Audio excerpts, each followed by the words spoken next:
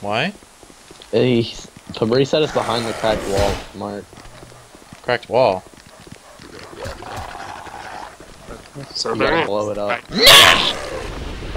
Oh Oh my oh, god!